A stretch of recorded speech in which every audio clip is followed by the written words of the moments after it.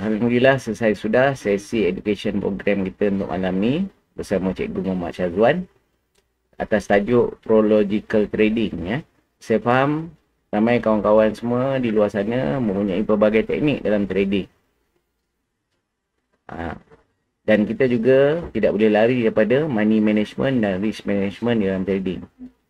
So problem yang sedia ada sekarang ni ialah kita dah set kita punya risk tapi kita takut dengan kehilangan risk tu. Dan bila kita takut dengan kehilangan risk tu kita akan buat benda-benda yang tak sepatutnya lah. Kita cuba layering kita cuba besarkan lot untuk mengharap market tu retrace. Ha, untuk kita dapat balik break even ataupun sedikit profit. Ha, tapi sebenarnya kita kena tahu yang forex ni is all about kebarangkalian ha. so kita kena belajar untuk memahirkan diri kita dengan prological trading ni kita kena belajar untuk menerima loss. Okay. So jom kita tonton video yang telah dirakamkan daripada program malam tadi. Dan saya harap video ni akan membantu anda dan memberi manfaat kepada anda semua insyaAllah.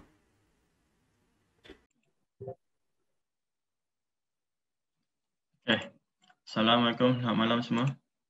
Okay, uh, harap semua dalam keadaan sihat hendaknya. Alright.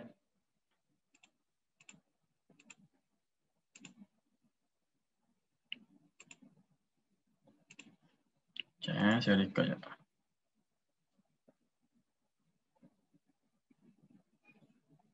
Okay, so pertama kali saya nak ucapkan terima kasihlah kepada Abang Hasma Ramli ataupun nama dia Abang Cimai sebab sudi menyebut saya lah untuk malam ni sesi perkongsian ilmu uh, dan saya harapkan daripada perkongsian ini dapat memberi manfaat lah kepada semua kawan-kawan. Okay. Uh, bagi yang tak kenal saya, nama saya Muhammad Syazwan. Saya dah berasal daripada Muar Johor. Uh, saya banyak membesar, merantau lah. Saya banyak membesar merantau di Bukit Keritam, Kedah, uh, di Batu Pahat, di Parit Sulong sebab ya saya bekerja sebagai polis lah. Okay. Dan saya dah berada dalam bidang trading uh, hampir 14 tahun lah. Okay, bermula dari zaman kolej saya sampailah sekarang ni saya dah full time. Memang sepenuh masa saya dekat rumah lah. Okay. Uh, saya rasa itu sajalah sikit sebanyak untuk diri saya. Uh, Okay, bagi kawan-kawan lagi yang nak tahu saya punya, saya banyak buat sharing melalui laman web saya iaitu shazonfx.com. Uh, ah, sebenarnya yang tu bukanlah untuk apa, saya website tu sebenarnya ramai orang tanya untuk apa website tu sebenarnya website tu adalah salah satu cara saya untuk buat saya punya trading journal sebenarnya. Uh, sambil saya buat trading journal tu bolehlah kawan-kawan semua tengok macam mana saya punya trading journal tu belang, belang uh, saya buat trading journal tu lah. Okay. Dan untuk malam ni, satu topik yang saya nak bincangkan adalah uh, iaitu prological trading. Okay. Saya pasti yang kawan-kawan mungkin uh, jarang untuk dengar prological trading ni.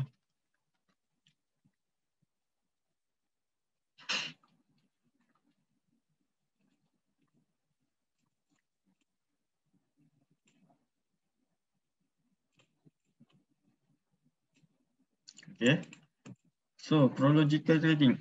Untuk malam ni topik yang saya akan bawa adalah prological trading. Okay. Saya tak akan sentuh sangatlah berkaitan dengan teknik. Saya lebih uh, fokus kepada prological trading. Eh. Jadi, apa itu pro prological trading? Eh? Uh, sebab ramai juga yang tanya saya macam mana kita nak buat prological trading ni. Prological trading ni sebenarnya dia adalah gabungan antara money management dengan risk management. Okay kenapa saya tak sentuh sangat berkaitan dengan teknik? Okay. Sebab uh, teknik macam saya sini, saya menggunakan teknik yang sangat simple sebenarnya. Teknik saya adalah kalau saya aj saya korang tengok video, saya ada share video teknik uh, untuk saya punya technical trading eh.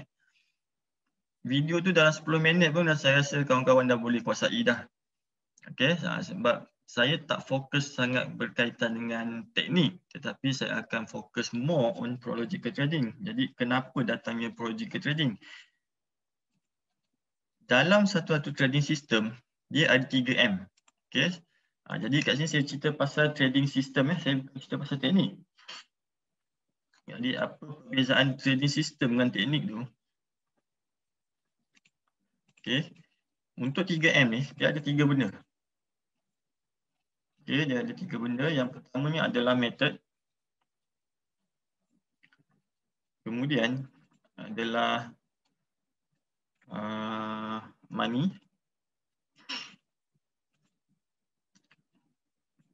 Dan yang ketiganya adalah mindset. Okay. Jadi dalam kita membentuk satu trading system, eh, dalam kita membentuk satu trading system, kena ada tiga benda ni. Okay, method ni macam uh, method ni adalah teknik lah. Okay, so apa teknik yang kita pakai sebenarnya tidak ada masalah. As long as teknik tu adalah proven, kita boleh gunakan teknik tersebut. Tak ada masalah. Okay, so kita takkan sebab itu saya kata saya tak sentuh pasal uh, method sangat. Yang ni terpulang kepada kita sendiri untuk guna method apa yang kita nak guna. Tapi yang saya akan beri fokus adalah kepada money money ni. Okay, sebab sebenarnya money bahagian money ni lah saya punya uh, main point okay, dalam setiap saya punya analisa. Saya akan memberi fokus kepada money okay, memberi fokus kepada money. Dan sebenarnya money ni akan mempengaruhi kita punya mindset. Alright? Akan mempengaruhi kita punya mindset. Sebab apa? Dia ada kat sini kita akan uh, relatekan dia dengan satu benda lagi iaitu uh, populas.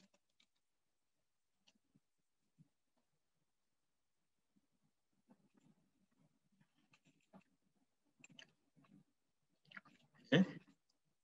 Yang ini adalah yang pertama daripada four pillars adalah teknik ataupun kaedah trading lah. Okay.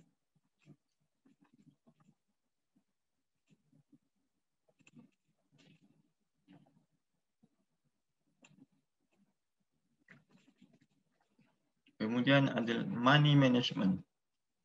Jadi saya rasa yang ni kita semua faham lah. Rakyat sebab kita biasa mendengar, ah, kita memang biasa dengar lah pasal money management ni. And then yang ketiga adalah risk management.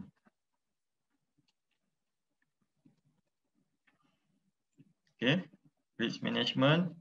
Yang terakhir sekali adalah emotion.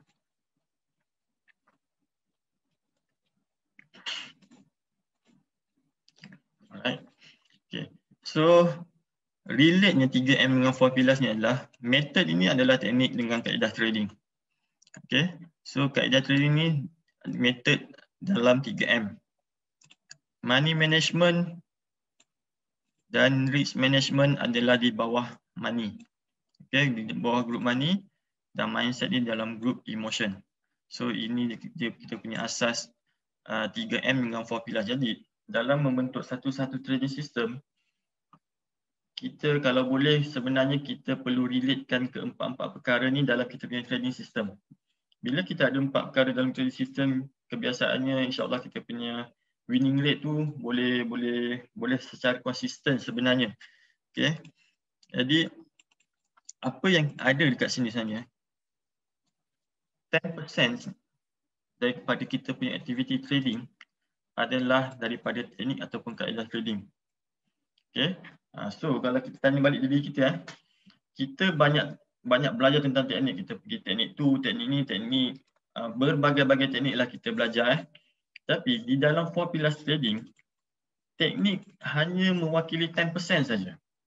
Okay, sebab itu kita rasa kita dah uh, belajar banyak teknik, tapi kita trade pun asyik, asyik loss, asyik MC, um, Salah satu reasonnya sebenarnya kita hanya menguasai 10% sahaja dari keseluruhan aktiviti trading uh, uh, trading uh, keseluruhan aktiviti trading.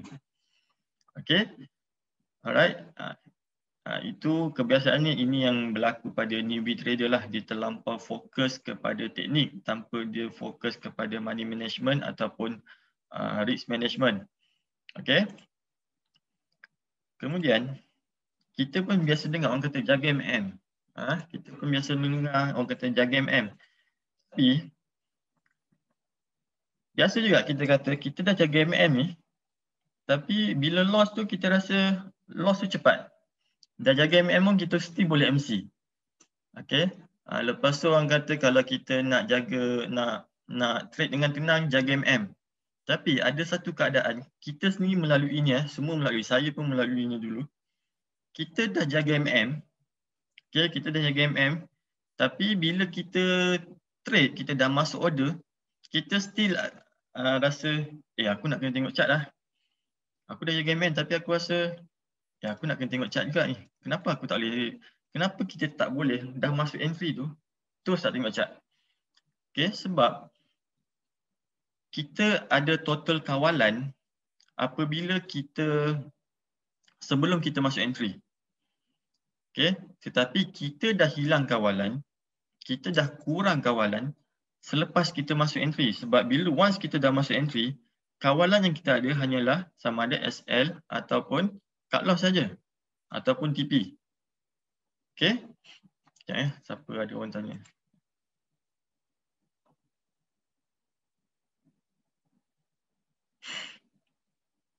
Suara, suara semua dia eh?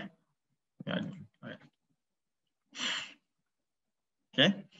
Jadi sebab itu kadang-kadang kita kita kata kita dah jaga teknik, kita dah kuasai money management tapi kita masih lost sebab secara keseluruhannya kita hanya menguasai 25% saja daripada keseluruhan aktiviti trading.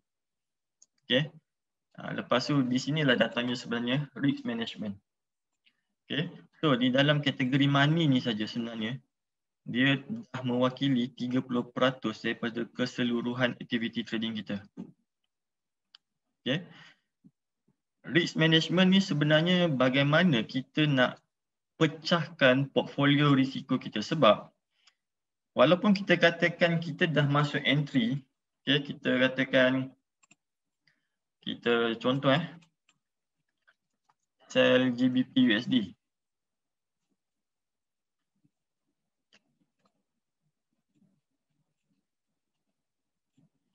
Okay. Kita sell GBP USD. Modal yang kita ada adalah uh, capital kita adalah USD 100.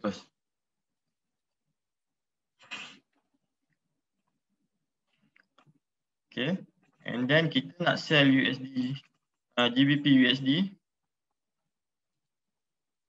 dengan 10%. Okay, USD 10 bersamaan dengan 10%. So, kita masuk sell uh, GBP USD dengan risiko USD 10. Jadi maksudnya bila kita kena SL saja kita akan loss uh, kita akan loss 100%. Eh, kita akan loss 10 USD. Jadi baki yang kita akan tinggal adalah 90 USD. Okay, yang ni simple math lah. Okay. Memang kita kata kita masuk entry dengan money management 10%. Okay. Money management kita 10%. Ini kita punya MM. Okay. Ini kita punya MM. Tapi risk kita sebenarnya adalah 50%. Kenapa risk kita 50%?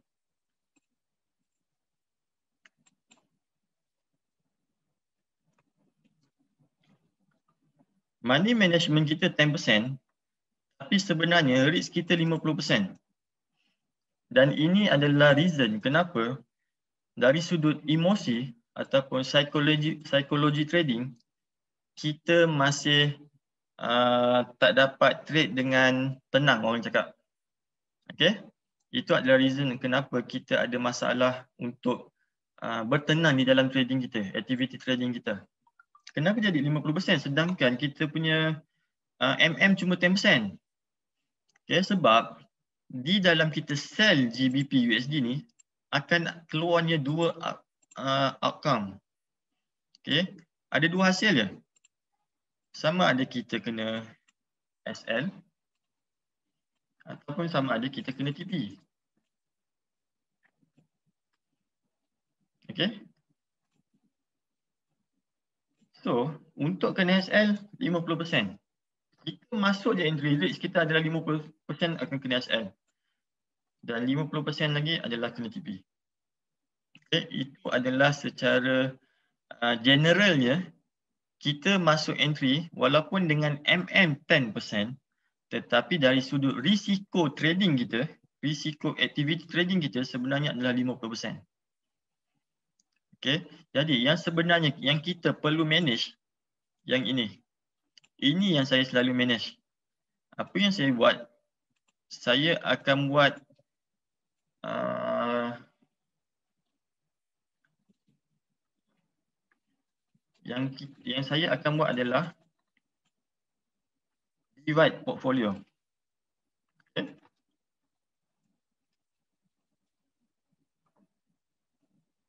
Divide risk portfolio.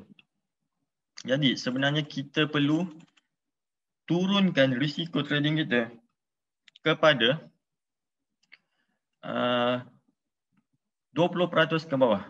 Okay, paling minimal sebenarnya kita boleh turunkan eh, uh, paling minimal kita boleh turunkan dia kepada 33%. Okay. Paling, paling uh, biasa saya akan turunkan adalah sehingga kepada 10% ke bawah. Alright. Jadi once kita faham macam mana kita nak pecahkan risk ni sebenarnya. Di sini kita akan wujudkan satu keadaan macam mana. Kita punya entry kena SL. Okay. Kita punya entry kena SL. Tetapi equity kita grow. Boleh bayangkan tak? Okay. Equity kita grow.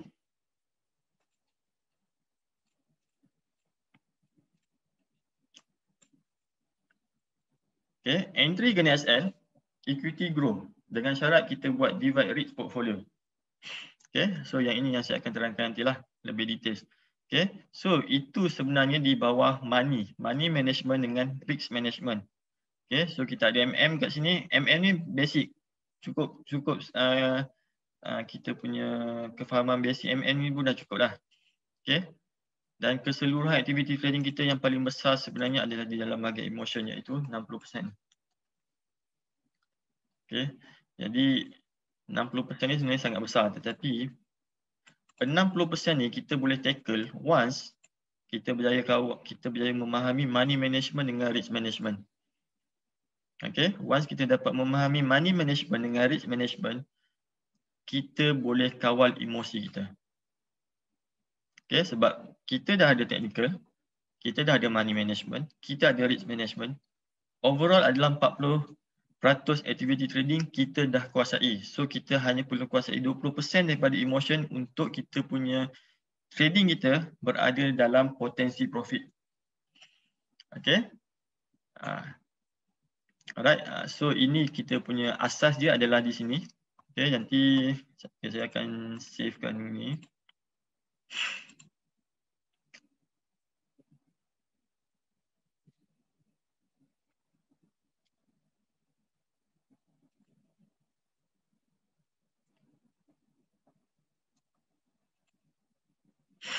Okay. Now, saya nak pergi kepada yang yang ini boleh eh. Yang ini kita baru muka mukadimah ni. Okay. Yang ni yang ni yang saya akan terangkan more adalah pada bahagian money management dengan risk management. Okay. Yang ini yang saya akan terangkan untuk malam inilah.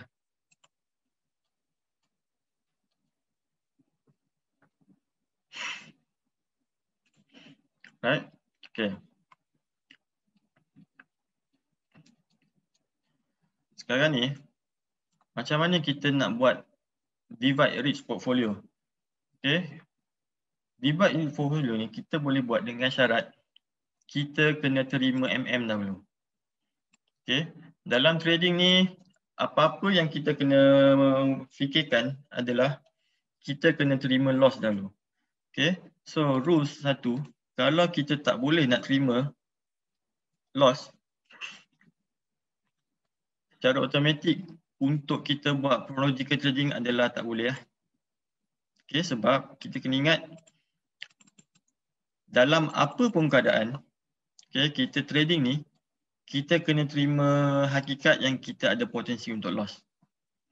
Okay, jadi ramai orang dia tak, ramai trader sebenarnya dia susah untuk terima loss. Okay, jadi bila kita susah nak terima loss untuk kita buat uh, risk punya management nanti akan jadi susah lah. Okay.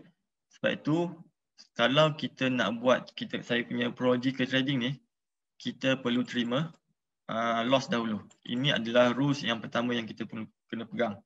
Okay. Jadi rules ni tak uh, untuk money management tak payah susah-susah lah. Kita nak masuk GBP USD sebagai contoh, berapa yang kita sanggup loss untuk masuk entry ni? Okay, so kita decide sini sama ada 10 ke 20 ke, itu terpulang pada kita. Okay, itu terpulang kepada kita. Okay, tapi sekarang ni saya nak tunjukkan, bila kita dah buat semua ni, uh, dah, dah decide kita nak masuk entry, dah decide risk yang kita akan ambil, macam mana kita nak buat kita punya divide risk portfolio. Okay. So untuk divide risk.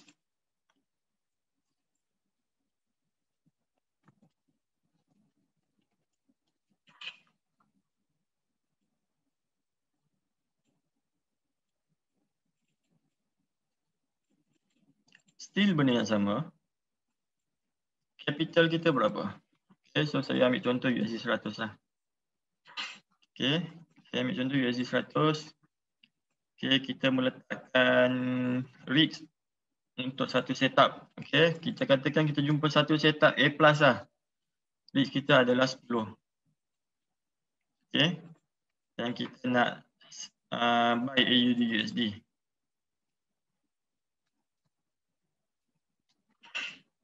Okay, so kita nak buy AUD USD.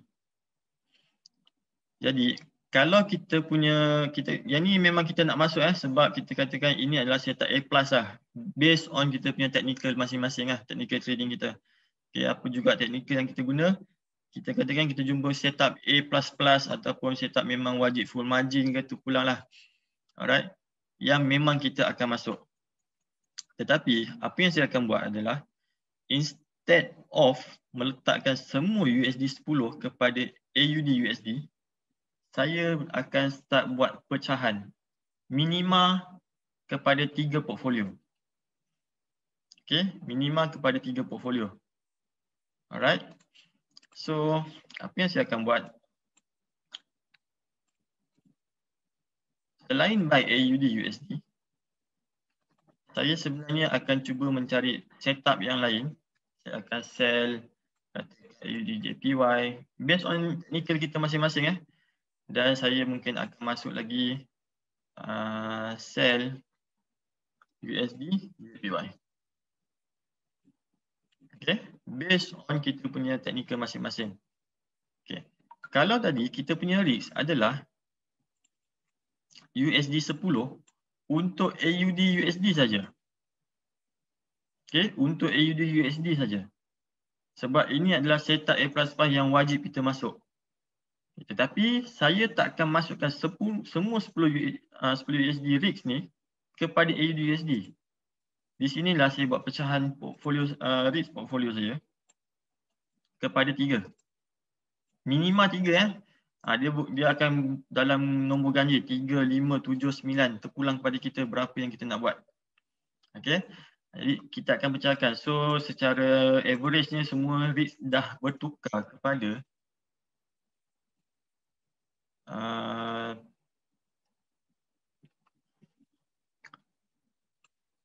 USD 3.3 lah lebih kurang lah.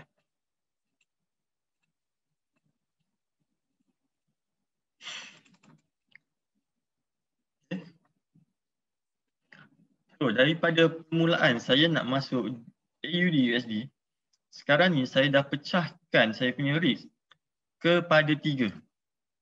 Okay, saya dah jumpa satu setup ni, then saya cari setup yang lain untuk saya masuk sekali.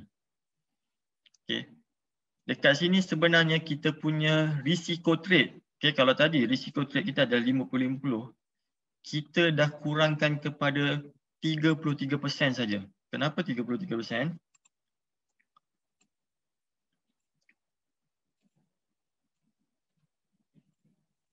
Okay, sebab setup ni dia akan ada result SL dan win.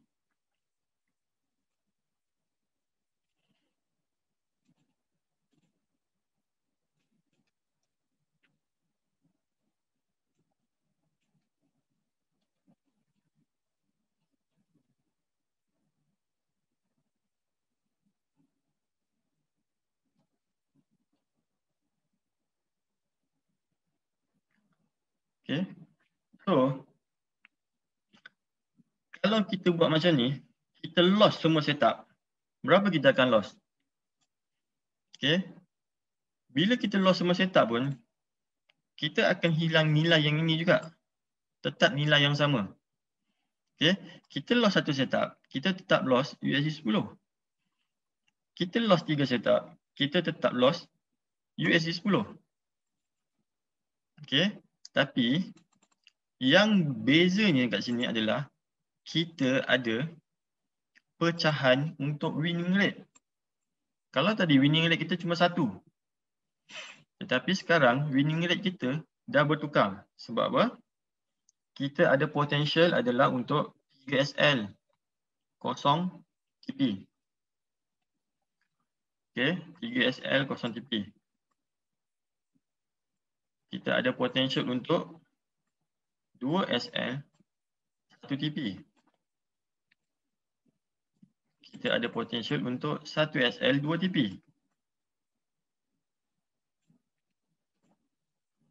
Dan kita ada potential untuk semua win. Okay. Ha, dekat sini, kita sebenarnya meningkatkan potensi win kita. Okay. Kalau tadi kita cuma ada win atau loss. Jadi kalau kita loss, kita loss all.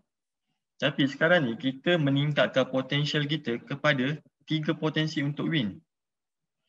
Jadi dekat sini sebenarnya kalau tadi reach kita adalah uh, satu ni adalah 25% eh.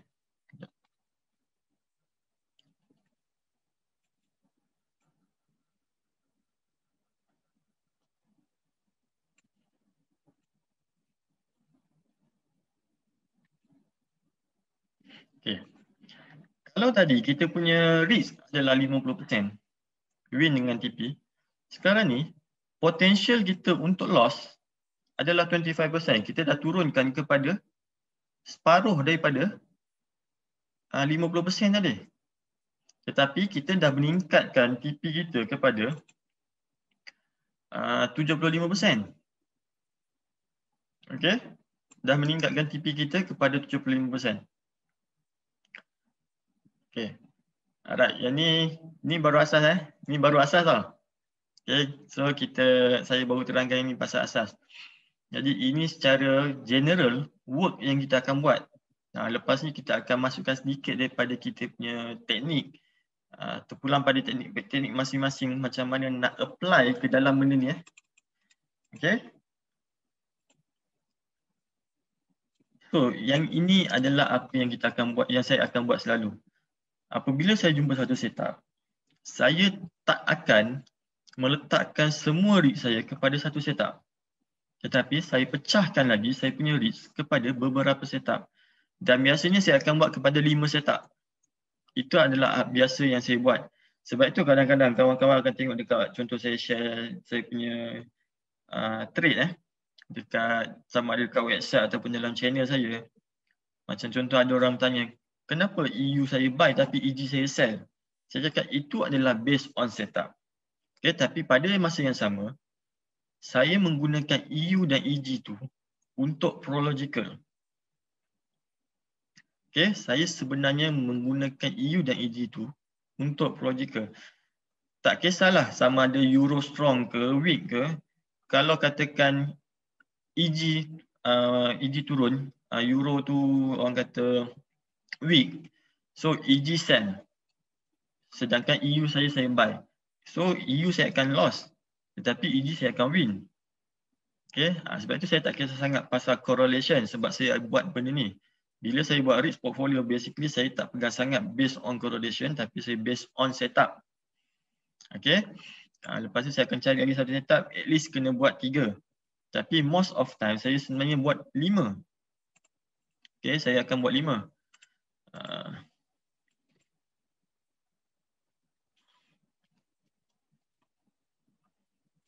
Okay.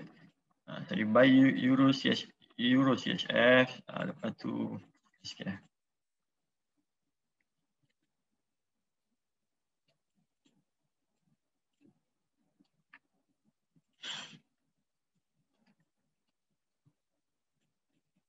apa nanti saya buka untuk soalan eh. Tak apa, relax dulu. Okay. Yang ni saya nak sell EJ.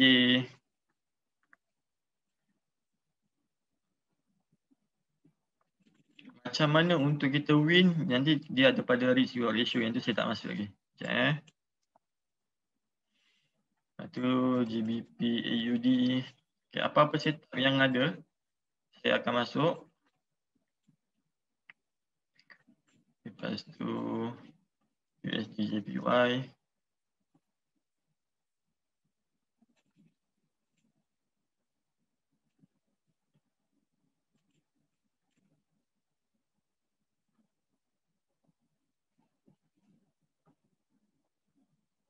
Okay.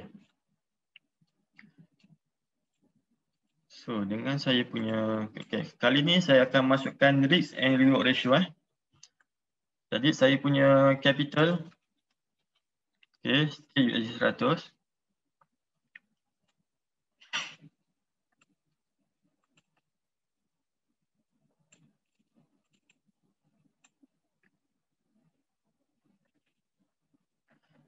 Kali ni saya punya REITs pun sama juga. Saya letak REITs USD 10. Okay, REITs ni kita terpulang pada masing-masing nak berapa banyak REITs. Sebenarnya once kita faham uh, projika ni, saya boleh letak REITs sehingga 80% daripada modal. Okay, so tak ada masalah tentang REITs. Jadi terpulang pada kita sendiri untuk decide. Okay, orang kata high risk, high gain lah. Uh, itu, itu, itu biasalah dalam trading. Okay. Sekarang ni saya akan tambahkan R to R, rate reward ratio. Okay. Minimum untuk saya ambil rate reward ratio adalah 1.3. Okay. So yang ni satu lagi yang korang kena alert. Adakah trading system kita boleh untuk buat rate reward ratio 1.3? Okay. Jadi kalau korang punya trading system boleh untuk tune kepada rate reward ratio at least 1.3 uh, korang boleh buat dengan dengan baiklah lepas ni. Okay. Uh, saya akan uh, sharekan satu tip macam mana nanti untuk korang buat satu tiga ni.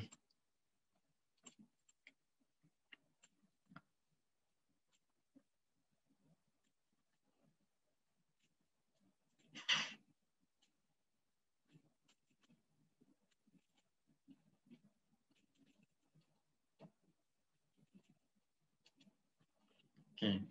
Sekarang ni, ini adalah kita punya SL. SL kita bersamaan dengan USD 2. Okay. SL kita bersamaan dengan USD 2. Sebab 5 eh. Reach maknanya setiap pair adalah 2.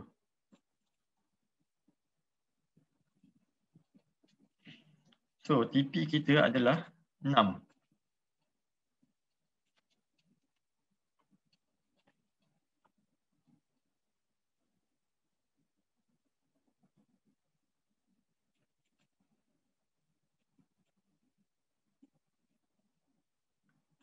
Okay.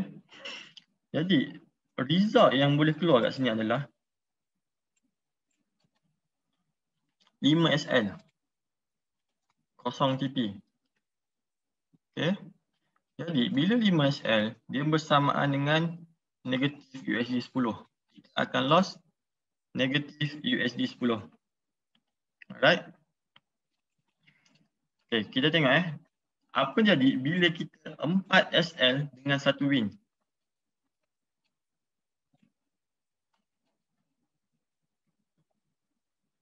USD 8 plus USD 6 bersamaan dengan negatif USD 2. Okay. Alright. Kat sini apa berlaku eh? Kalaupun kita lost empat setup, kita lost empat setup eh, instead of kita lost USD 10, kita sebenarnya hanya lost USD 2 saja. Kita hanya lost USD 2 saja. Okay, so dari sudut risk, kita dah mengurangkan risk kita daripada loss semua uh, semua USD 10 kepada hanya USD 2 saja bila kita cuma satu win. So basically kita dapat save kita punya margin kat sini untuk next setup. Okay, ha, itu dah nampak dah perbezaan eh dengan satu win saja dan dengan rate 0.13 perbezaan tu dah nampak lebih uh, dah nampak besar kat sini. Apa yang saya suka tentang Projica ni sebenarnya kita tak perlu win banyak. Okay, kita tak perlu win banyak sebab apa? Dengan 3 SL, 2 TP dah cukup untuk kita profit.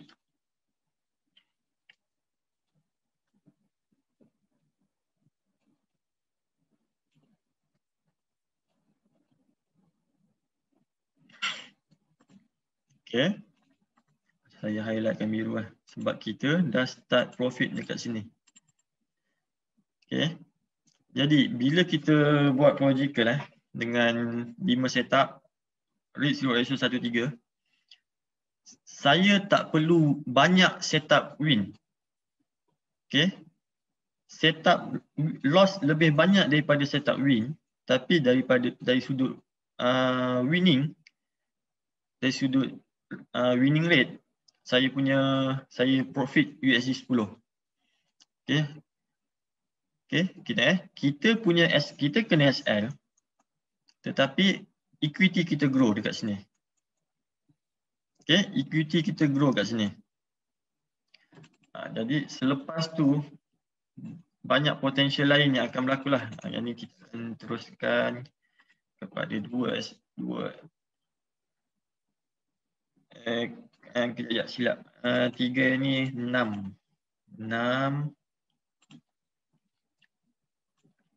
Ni enam. Okay, still win. Okay. Uh, lepas tu yang ni dua.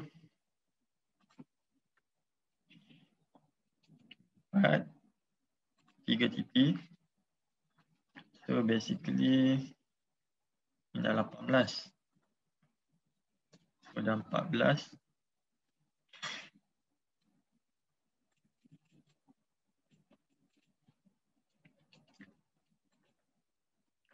satu SL, dua, empat TP, dua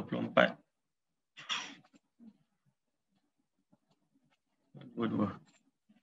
Okay, last kali win all. So kita akan win 30 lah.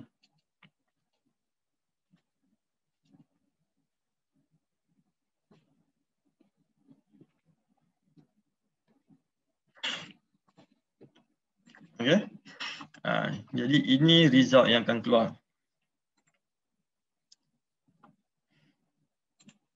Okay. Setakat ni boleh boleh ikut tak? Okey, saya buka lah untuk soalan 5 minit. Untuk sekejap eh.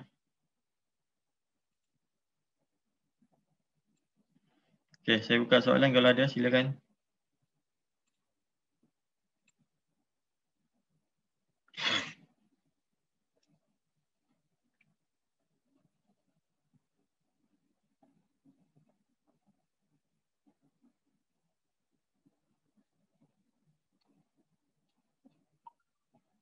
Okay, clear. So sebenarnya basically kalau apa kawan-kawan tanya saya sebenarnya once saya masuk entry, saya sebenarnya dah tak tengok chart. Okay, saya dah tak tengok apa yang akan berlaku. Uh, SL tak perlu. SL perlu. SL perlu. SL nanti kita akan set based on setup.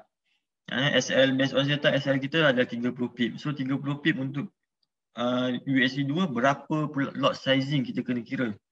Uh, yang tu nanti kita akan masuk uh, lebih detail, more to details. Okay. Tapi SL perlu. Okay. Cuma saya cakap bila saya buat project sebenarnya saya selepas saja saya dah entry buat project saya sebenarnya dah tak tengok kepada chart. Sebab tak ada lagi keperluan untuk, untuk saya tengok chart sebab kalau saya tengok chart sekalipun yang saya akan kena ini. Okay, saya tetap akan loss based on risk yang saya dah ambil. Walaupun semua saya tak loss. Jadi yang ini risk yang kita kena terima. Sebab itu saya kata sebelum kita nak buat benda-benda ni kita kena rela hati terima kita akan loss berapa banyak dahulu. Okay. Kalau kita tak rela untuk buat benda ni, yang lain-lain ni kita tak perlu nak buat. Okay. Sebab itu kalau nak buat benda ni, kita kena terima loss dahulu. Sebab ramai yang tak boleh terima benda ni. Uh, even ada yang peserta-peserta grup saya pun tak ramai yang sanggup nak buat benda ni. Okay, sebab orang still ada uh, ketakutan tu lah. Satu mungkin sebab nak nak kena tengok banyak setup. Tapi basically setup banyak macam mana sekalipun tak tak perlu nak kita risau sebab dari sudut ni kita dah tentukan awal-awal lah berapa banyak yang kita akan loss. Okay. Alright, jadi kalau tak ada soalan saya rasa kita boleh teruskan lagi. Uh, macam mana pula untuk kita sesuaikan kita punya SL uh, dengan TP. Okay, yang ni semua ni kita boleh based on setup masing-masing lah. Okay, tapi untuk uh, cari setup at least satu tiga. Okay, kenapa tak satu dua, kenapa kena tiga? Okay, saya akan terangkan. Okay, uh, jadi basically saya ada saya punya ni, saya punya template ni. Okay, uh, yang ni yang apa yang selalu saya akan buat. Okay, lepas tu macam mana peserta-peserta grup saya pun basically saya bagi benda ni untuk orang buat. Okay, jadi in term of capital terpulang kepada kita berapa capital kita nak letak katakan 1500 ke. Okay, kita nak masuk entry ni berapa banyak risk kita kena tentukan. Okay, jadi saya sanggup loss uh, katakan 300 USD. So total loss dah 20% daripada modal. Berapa banyak pair yang kita nak masuk, jadi saya akan masuk lima. Okay, saya biasa majority, uh, minimum memang saya akan ambil lima. Kita boleh ambil tiga, tapi saya suka lima. Okay. Lepas tu ratio kita nak berapa? Okay. Uh, macam saya kata kita kena ambil satu tiga. Alright. Jadi uh, lepas tu masuklah apa pair yang kita nak masuk ke.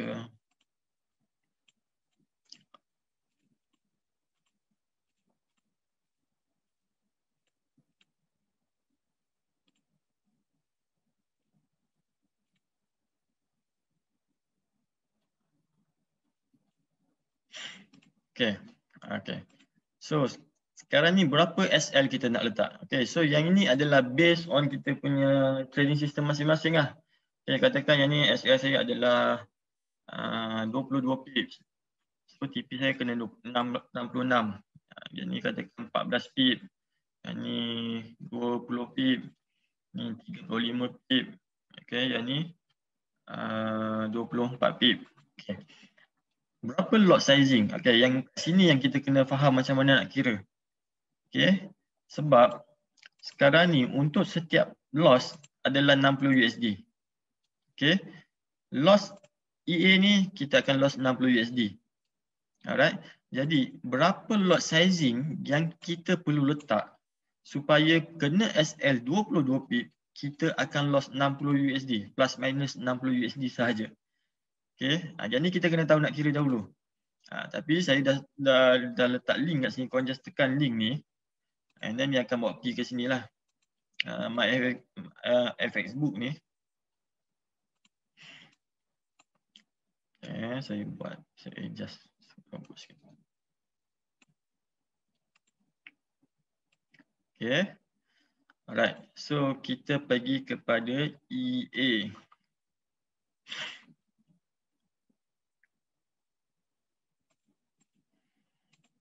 Account size kita berapa? Okay, account size kita sekarang ni adalah uh, 1500. Okay. Reach kita ni swap to money. Jadi untuk EA ni reach kita adalah 60 USD. Okay, 60 USD. Berapa SL kita? 22 pip. So contract size kita apa? Eh, yang ini tengok, ini standard eh. Jadi macam mana korang nak tentukan korang punya contract size ni. Uh, korang boleh pergi kat market watch ni. Uh, right click yang mana-mana. Specification ni. Uh, tengok contract size ni. Okay, kalau korang punya uh, mini, uh, account mini ke. Uh, korang boleh tengok micro ke korang boleh tengok dekat sini nanti. Okay. Uh, jadi adjust dekat situ. So basically 100,000 ni adalah standard lah korang calculate. Jadi untuk lot paling banyak korang boleh letak, paling tinggi korang boleh letak adalah 0.35 sahaja. Okay, 0.35.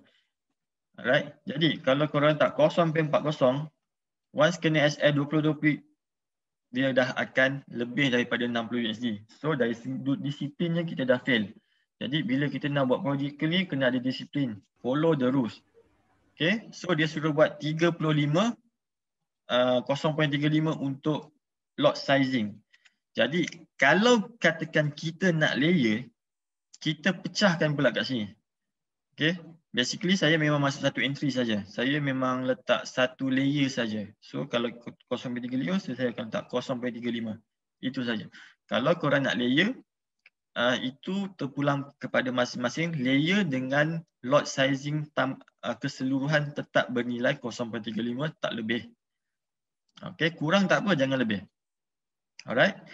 Bila kurang, korang mungkin akan loss lebih lebih kurang daripada 300. Kalau lebih, maknanya kita akan loss lebih daripada 300. Okay. So itu untuk EA. Uh, next kita buatlah yang lain-lain macam biasa EG 60 juga. SL dia adalah 14 pip. Okay, so calculate 0.30. Sebab itu kita kena kira sebab setiap pair tak sama eh. Setiap pair tak sama. SL lagi besar EA ni tetapi lot sizing dia besar. SL kecil tapi lot sizing dia 0.3 saja lebih kecil daripada A. Sebab tu benda ni kita kena ikut. Okay, kita kena faham setiap pair ni dia ada nilai dia yang tersendiri. Okay, ha, lepas tu ECHF 20 pips. SL kita 0.27. Makin kecil pula kan. Lepas tu GBP USD.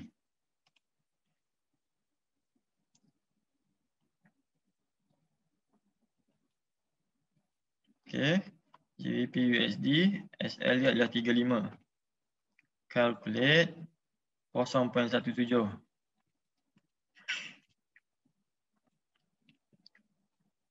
Lepas tu CHF JPY 24.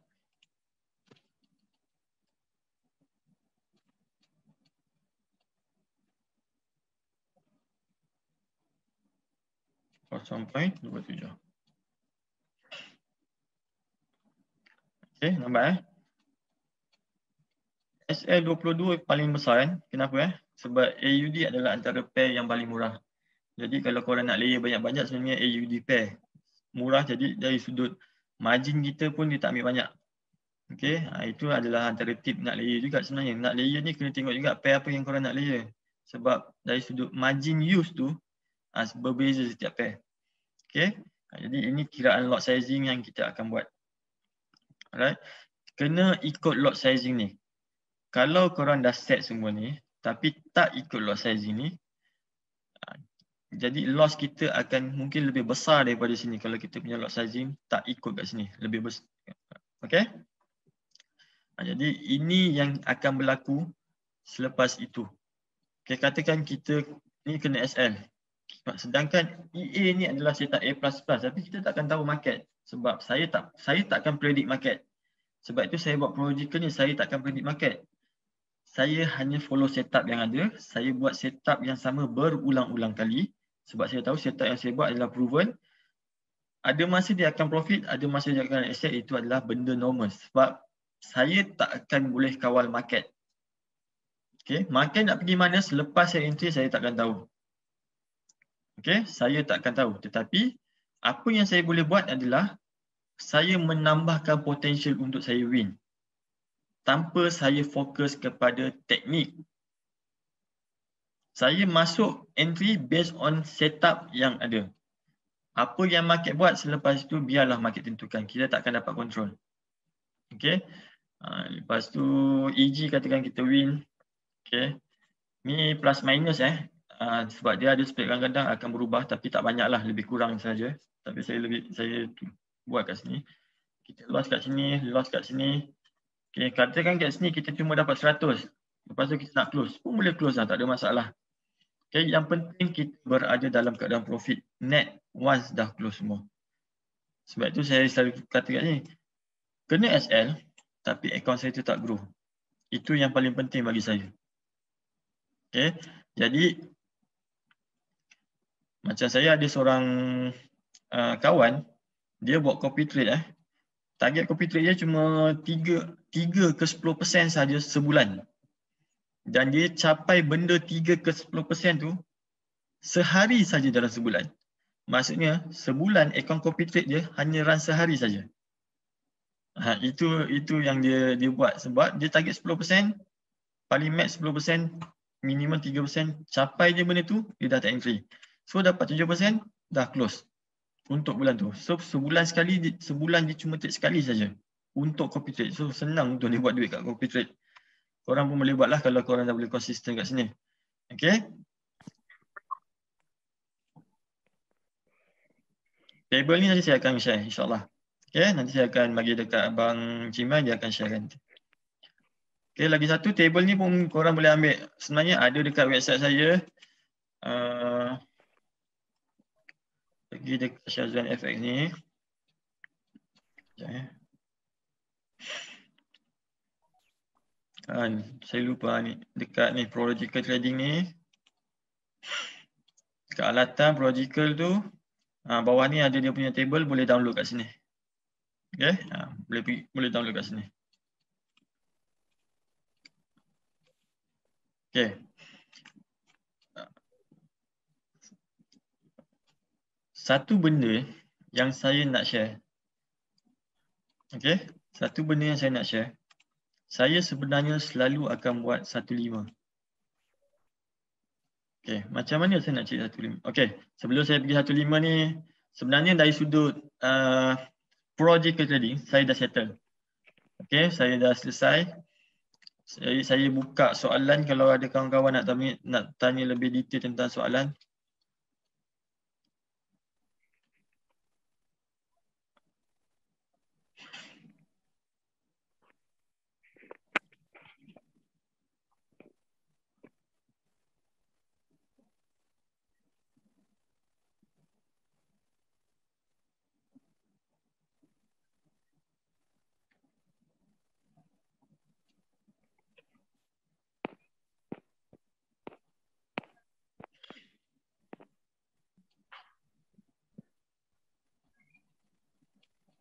Okay, ada yang nak, nak bertanya silakan.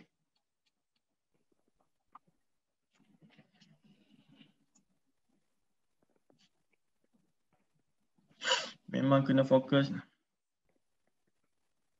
Satu pair kita tak boleh nak buat. Sebab satu pair maksudnya VIX kita tetap 50-50. Maksudnya kita trade macam biasa je lah. Uh, kenapa kita tak buat dua pun tak relevan. Uh, memang kita takkan dapat result. Kalau kita buat risk and reward ratio satu dua pun Okay, ini satu dua eh. Okay, ala-ala ni saya cerita satu dua.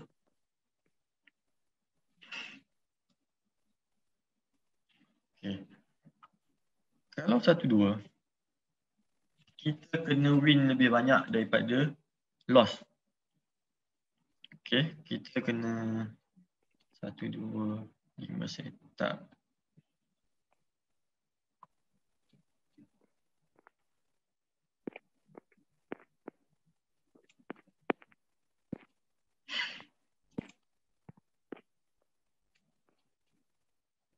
Okay.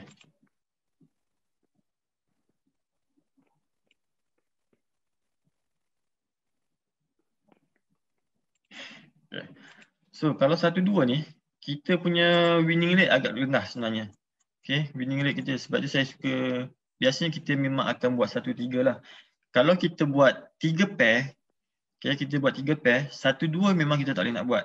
Sebab kita kena menang dua dua pair memang kita kena win dua set dua setup baru kita akan total win.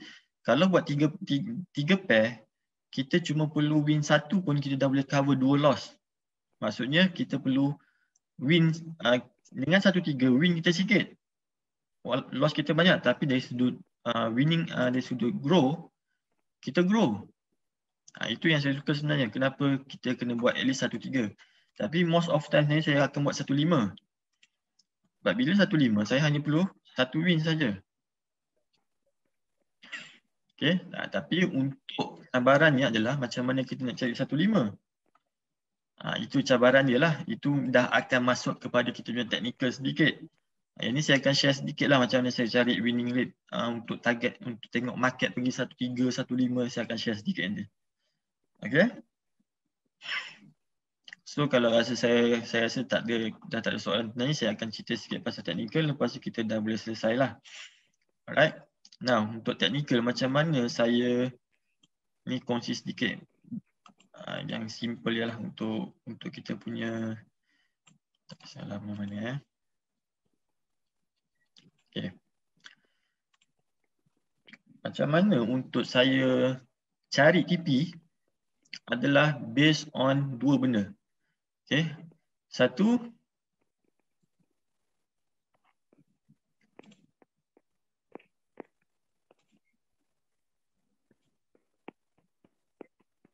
sebenarnya dalam market ni dia ada hint. Market ni dia ada bagi hint. Okay. Ini kita punya kosong. Kak, kak rak. Hmm, alik rak rasa. Okay. Ini kita punya A, kita punya B.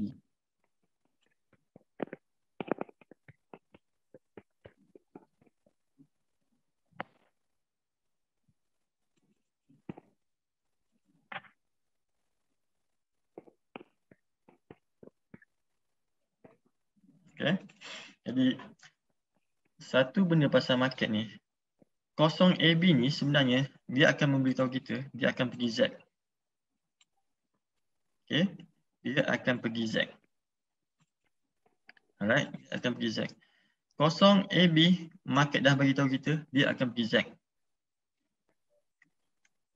Okay, macam mana market kosong AB ni dia bagi tahu kita dia nak pergi Z.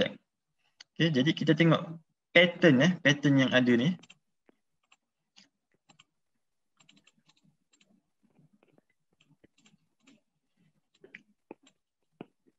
Jadi yang ni adalah cara korang uh, nak kenal pattern macam mana lah. Okay. Uh, jadi kita ada nilai ni. Uh, ni saya akan guna website saya lah. Uh, yang ini yang saya panggilkan dia sebagai total sum market. Okay.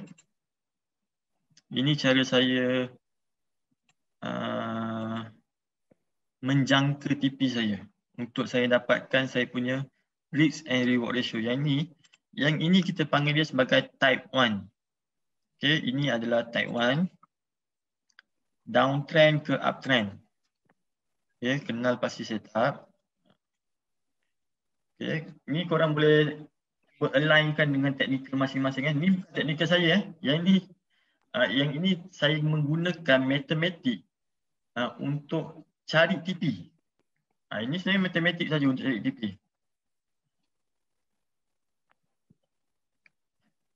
Okay, so dengan formula yang saya dah ada dekat dekat punya website ni, market akan beritahu kita dia akan beli 2203. Okay.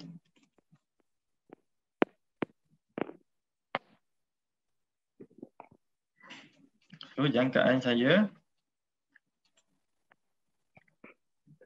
kemungkinan dia akan sampai ke sini. Ini based on setup yang saya main ambil je lah. Okay. Sebab kalau analisa teknikal saya sebenarnya lebih detail tak. Yang ni cuma saya tunjukkan apa setup yang korang boleh buat dengan type 1 ni. Okay, kita tengok contoh-contoh yang lain dulu eh.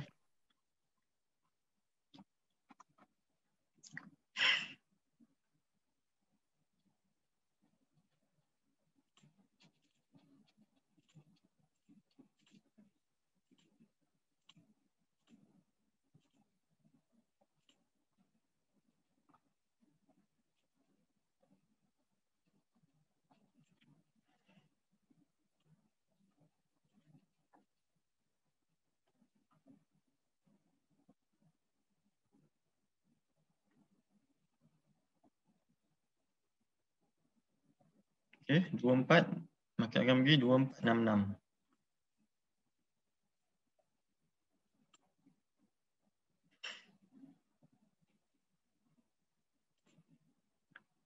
Okey. So kita akan nampak market akan mula membuat reaksi apabila menghampiri eh Ha, total sum market ni at least 70% dia adalah workable, 70%. So 70% adalah sangat tinggi. Jadi bila kita dah jangka TP ni kita akan keluar. Sama ada dah sampai ni kita nak keluar pun tak ada masalah. Okay. So ini kita punya type 1. Jadi korang boleh test nanti uh, lepas ni webinar ni korang boleh test teknik ni. Okay, terpulang kepada masing-masing nak alignkan dengan technical uh, sendiri macam mana. Okay. Yang ni sebenarnya ni sebenarnya tambah tolak matematik saja. Okay, yang ni uptrend kepada downtrend. Jadi kita masukkan nilai kosongnya 2470. 1.2745 1.2638 So jangkaan ni adalah 2363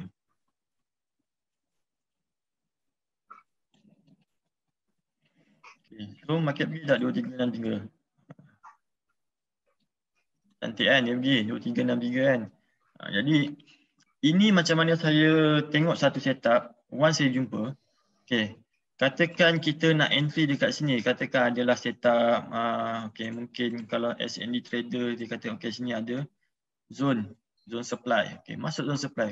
Berapa kita punya SL entry kita kat sini SL kita kena uh, break atas ni dalam 70 pip.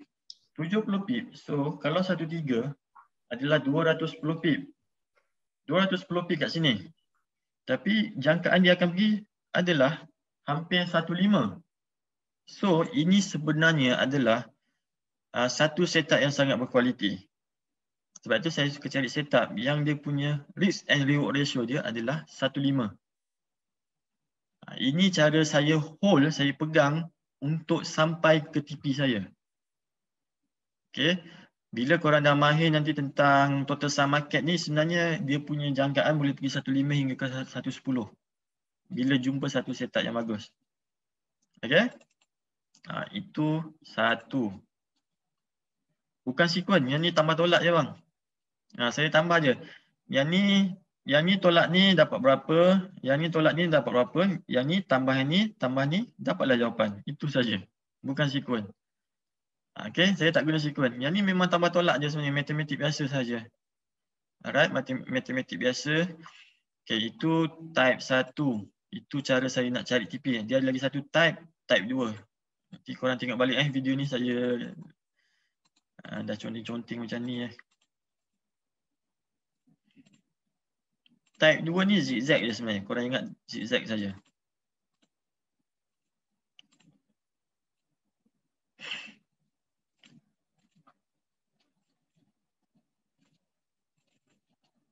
Total samakannya korang takkan jumpa pun kat Google. Korang saya Google memang tak keluar.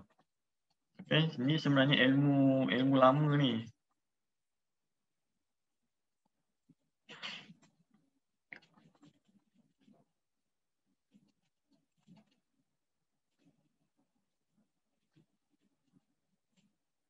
Okay, so kosong tambah A tambah B tambah C, kita akan dapat Z. Okay, kita akan dapat Z. Uh, so yang ni dia lebih more to zigzag. Kalau ni dia uh, dia dia naik lepas tu dia buat sideway. Dia buat sideway yang tak break 1 2 6 3 4 ni. Okey, yang ni zigzag. Jadi kalau kita jumpa satu setup zigzag kita boleh buat. Okay, ni ada zigzag.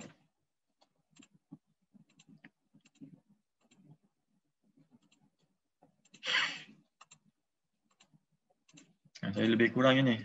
Kita bukan nak tepat pun tapi kita just nak buat jangkaan untuk cari satu setup yang boleh pergi at least satu tiga. Okay. Saya pun takkan tahu market akan pergi betul ke tak kat tempat yang saya kira ni. Okay, tapi at least saya ikut sahaja saya punya technical.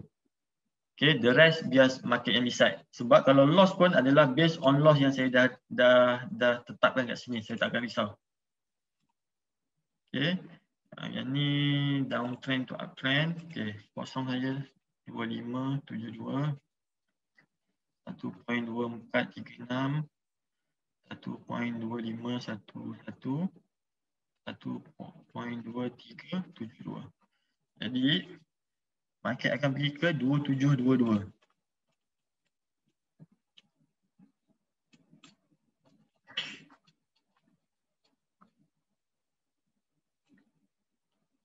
market sampai tak sampai saya tak tahu. Saya tak ada masalah pun. Yang penting at least dia pergi satu tiga dulu. Okay, yang penting ada potensial untuk satu tiga. Jadi kalau kat sini saya akan yang ni korang akan nampak macam structure. Korang mungkin yang entry kat sini lah.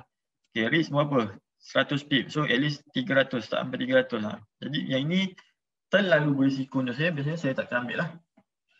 Okay, sebab saya kalau risk sampai 100 pun saya tak akan ambil lah. Yang ini memang kita pun faham. Risk terlampau besar kita memang tak akan ambil. Okay, kita memang tak akan ambil. Hmm, jadi kalau korang tengok saya punya analisa sebenarnya dekat website ni semua saya ada masukkan benda-benda tu. Okay, ha, jadi semua benda ni ada. Ada dia punya angka-angka ni, jangkaan saya dia nak pergi mana, nak pergi mana, semua ada. Memang saya gunakan benda yang sama saja tetapi apa yang paling penting dalam saya punya trading sebenarnya adalah macam mana saya kawal risiko dekat sini. Okay. Goal. Alamak. Kalau nak tengok setup ni sebenarnya saya saya punya analisa ni lain sikit ni. Hmm.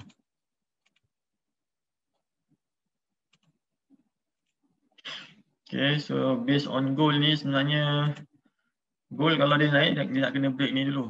Okay. Selagi dia tak break ni, dia takkan naik. Ha, itu saya punya dah. Dah selesai saya punya analisa. Sebab saya nak buy.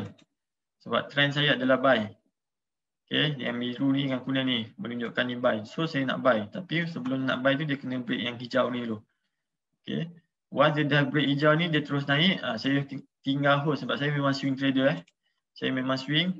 Ha, kalau saya dah dapat entry kat awal-awal permulaan trend ni memang saya hold sajalah. Lepas tu saya tengok saya punya total sum market tu dia pergi sampai mana. Sampai dia tipis saya dah out. Saya dah keluar. Okay. Ha, itu saja. So based on kalau tanya saya pasal goal ni sebenarnya saya nak buy tapi dia kena break yang ini dulu. Ha, itu je lah.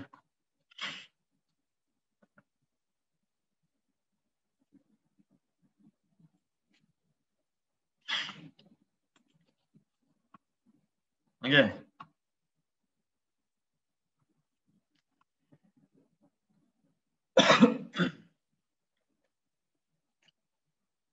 Ada lagi soalan-soalan yang terakhir, pertanyaan-pertanyaan terakhir.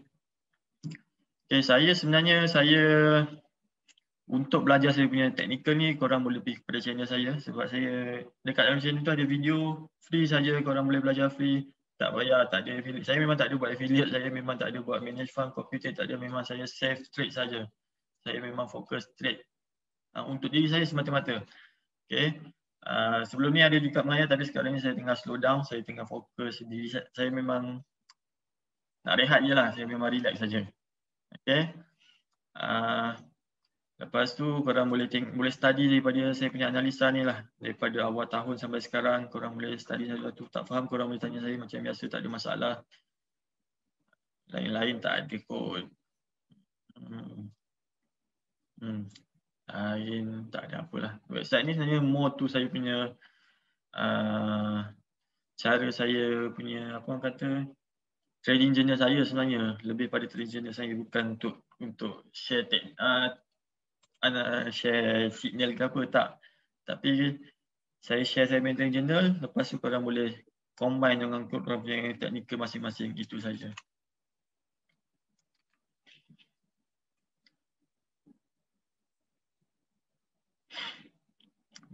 Goal break zone kat anchor. Anchor masih dalam keadaan uptrend so saya hanya akan fokus uptrend. Cuma sekarang signal buy tak ada. Ha, itu je Okay. Uh, last kali ada yang tanya workable ke tak sebenarnya. Sebenarnya workable. Okay. Saya ada, saya ada simpan kat sini kejap. Saya copy daripada semua ni saya share kat FB saya. Okay. Ini antara testimoni daripada kawan-kawan kita lah. Saya, saya pun tak sempat nak buat elok-elok sikit sebab saya busy pagi tadi. Tak sempat nak prepare sangat. Jadi saya just ambil copy yang pernah saya share dekat FB saya. Uh, ni. Okay. Uh, ni masa saya belajar berkenaan project trading. Okay, sebenarnya saya belajar kaedah ni daripada Cairo Amirin eh kalau korang kenal ataupun nama glamour dia Fishing FX. Uh, so saya belajar daripada dia macam mana nak menggunakan logical trading ni di dalam saya punya uh, trading system. Okay, so sebenarnya sangat-sangat bagus korang boleh buat. Korang memang patut buat sebenarnya. Okay.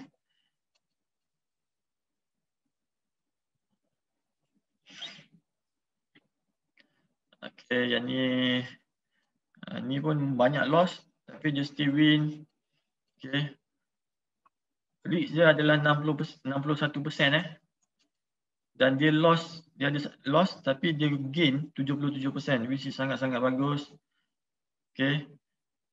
Dia ambil risk 70% tetapi akhirnya dia cuma loss 17%.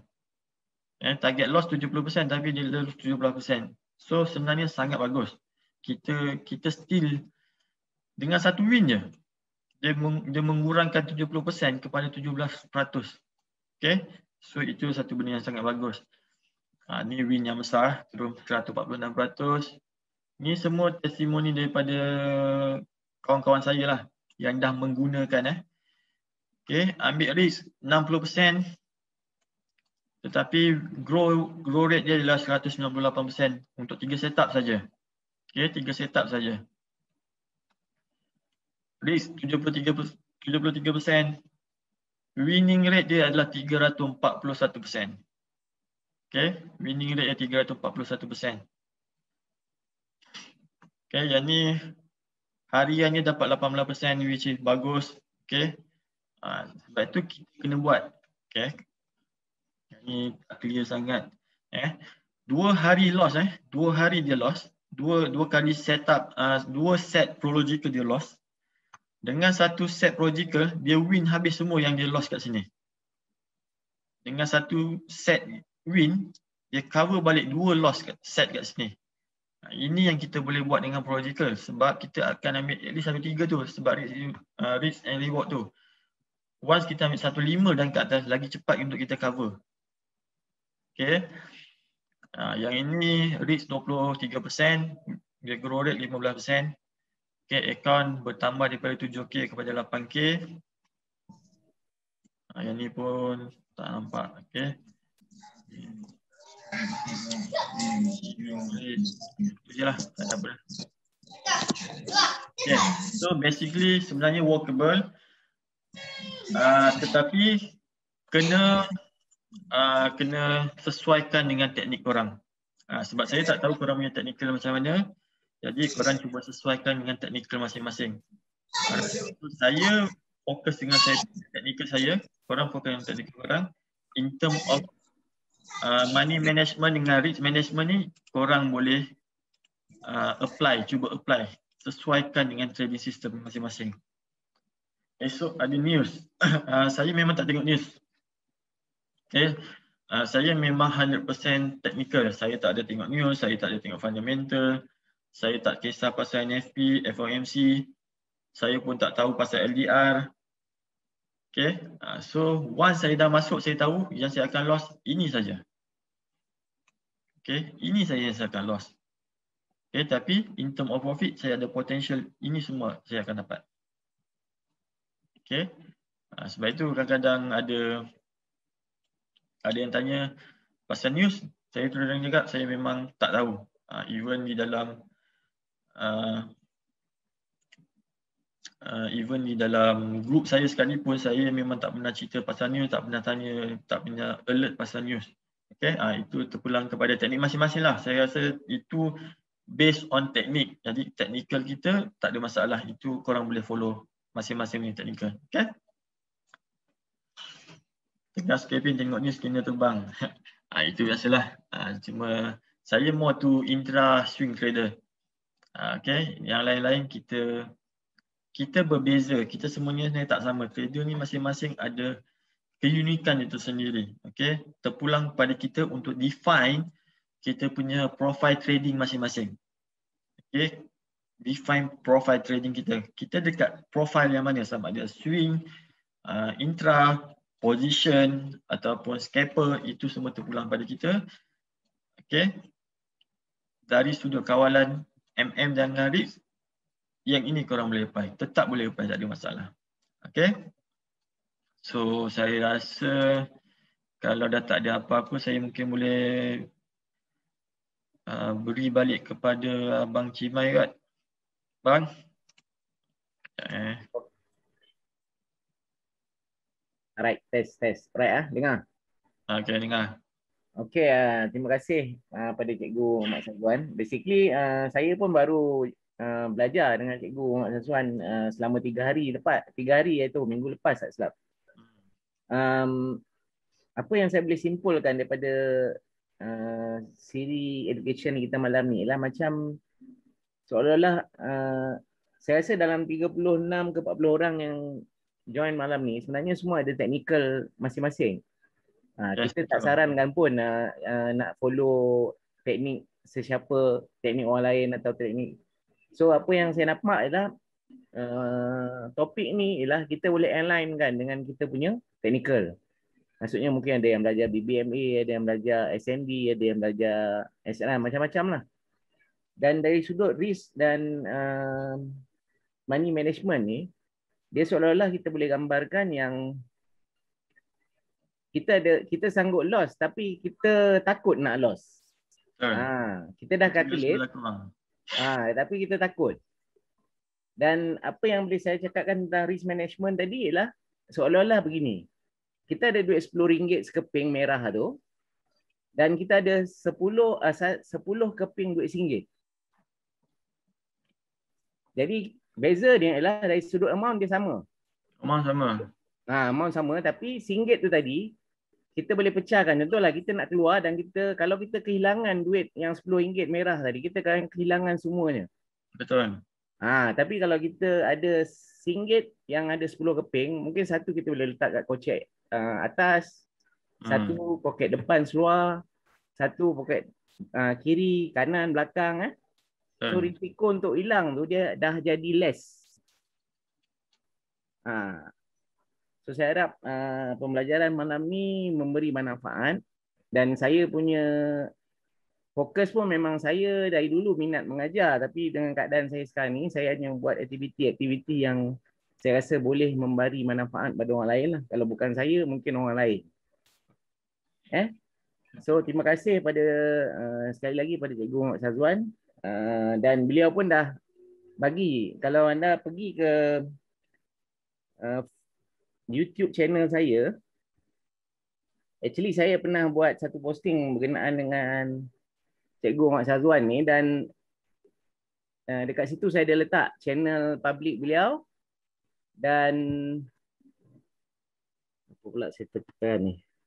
Okay, channel public beliau dan juga website beliau.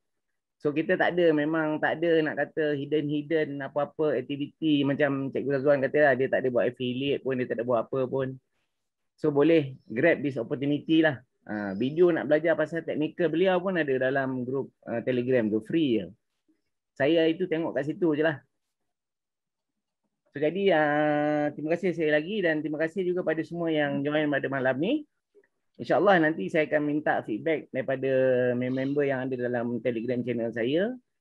Dan Alhamdulillah untuk next week saya ada dapat seorang lagi cikgu yang sudi berkongsi dia punya formula trading lah.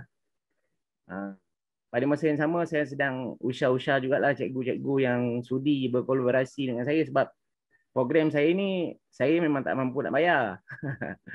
ha, jadi saya saya buat sekadar untuk uh, mereka-mereka yang sanggup nak kongsi knowledge dengan trader-trader yang boleh membangunkan uh, pembangunan trader tu sendirilah. Alright, uh, akhir kata kalau ada salah dan silap daripada pihak kami, daripada saya dan Cikgu Muhammad Syazwan, saya kami mohon maaf. Dan uh, terima kasih semua yang join malam ni. Salam sejahtera, selamat malam. Wabillahi taufiq wa hidayah. Assalamualaikum warahmatullahi taala wabarakatuh. Saya akan end meeting ya.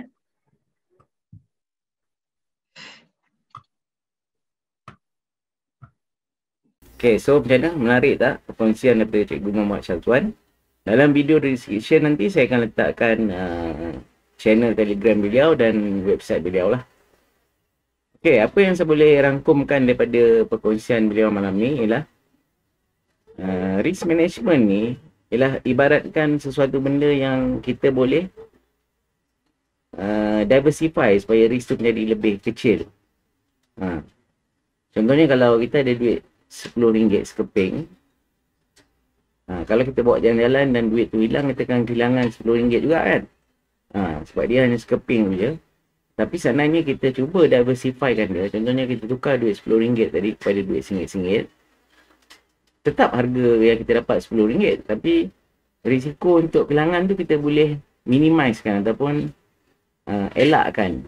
Uh, mungkin dengan kita simpan RM1 di poket kanan, RM1 di poket kiri, RM1 lagi di poket belakang kanan, RM1 lagi di poket belakang kiri. Uh, ataupun kita follow siapa dalam filem Seniman Menjalan Lapuk, Sudin ke tu Aziz Hatta. Boleh simpan di bawah kasut, di dalam kasut. Uh, okay. So walaupun kita ke mana-mana dan kita melakukan aktiviti, kita mungkin kehilangan. Tapi kehilangan tu agak kecil. Ha, berisiko kecil. Berbanding dengan kita bawa duit RM10 sekeping yang merah. Alright? So saya doakan perkongsian hari ini memberi manfaat pada anda. Kalau tak 100%, sikit sebanyak pun dah beri memberi kebahagiaan kepada kami sebagai orang yang berkongsi ilmu. Ha, walaupun mungkin dapat 10%, 20%, 30%. Ya? InsyaAllah saya yakin rahsia ilmu ni besar. Ha, kita tak tahu pun apa yang terkandung di dalam tu yang boleh memberi manfaat kepada orang lain. InsyaAllah. Okay, jangan lupa like dan subscribe channel YouTube Fakulty of Forex. Dan jangan lupa juga join channel Telegram saya untuk mendapatkan uh, jadual-jadual terkini untuk kita punya program meditation. Okay? So take care, jaga diri, jaga kesihatan, sila patuh SOP kalau anda keluar daripada rumah. Kalau anda tak ada apa urgent matters, just duduk di rumah. Alright? Wabillahi taufiq wa hidayah. Assalamualaikum warahmatullahi wabarakatuh.